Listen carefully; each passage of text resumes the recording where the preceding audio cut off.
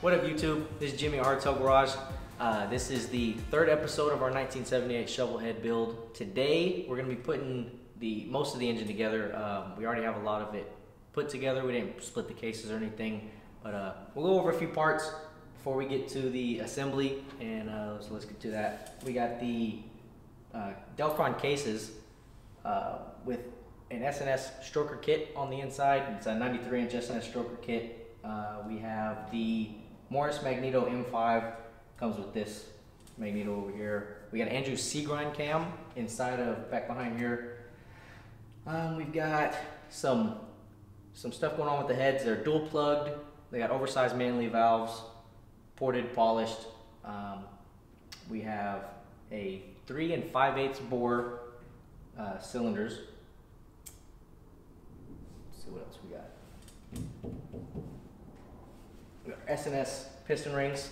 These are special order that we had to get from S&S because I guess they don't keep any in stock. Um, oh, S&S Super Shorty E carburetor.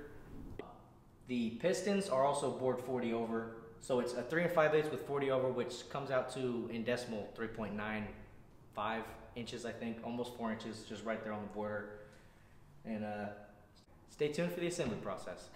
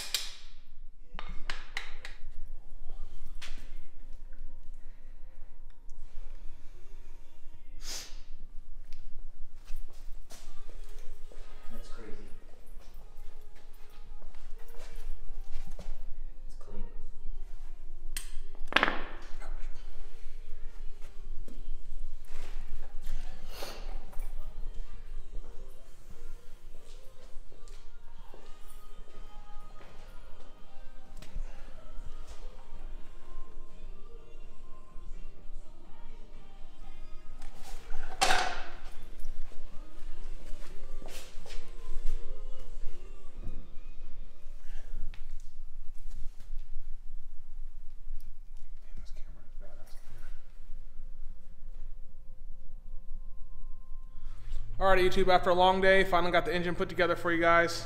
Um, just like Jimmy said before, uh, it's all assembled. Um, you know, hopefully you guys like it. If so, please subscribe, like it, leave us a comment, criticism or not. Uh, let us know what you like about it, what you don't. And uh, stay tuned for the next episode we're going to have. It's basically going to be buttoning everything up and, you know, maybe a startup video. Who knows? Just stay tuned, subscribe. Thank you guys. You want to tell the people what you're doing? Unscrewing this little thing